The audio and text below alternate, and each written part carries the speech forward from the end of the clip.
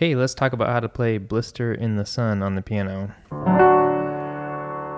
Just a couple of basic parts. The verse is on D. I'm playing it in D.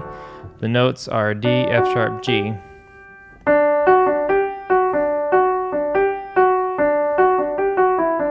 don't have to play that E in there. You can skip that. Um, for the very beginning, I'm actually going up from And then when I'm adding more, I'm doing octaves on the D.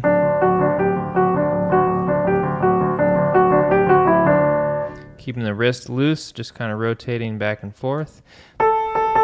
Chorus goes to A melody, B minor 7, to G, to D, B7 again, B minor 7,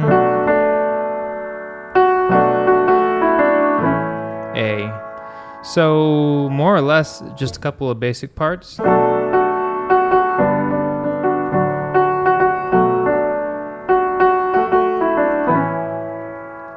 So to make it move a little more and give it more energy, I'm doing those octaves.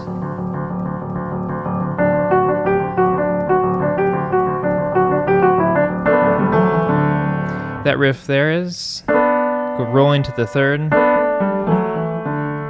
If you want to think of it as a G over D to the D,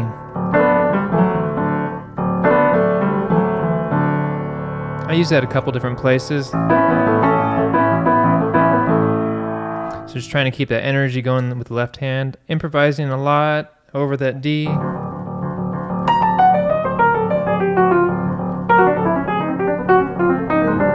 can kind of play whatever you want there, however you want it to sound. Um, even when you slow it down using the same chords.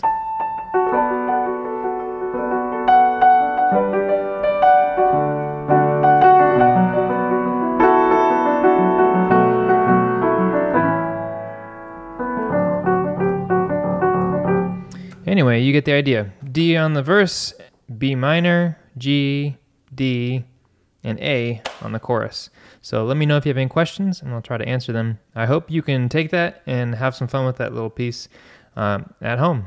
Thanks for watching.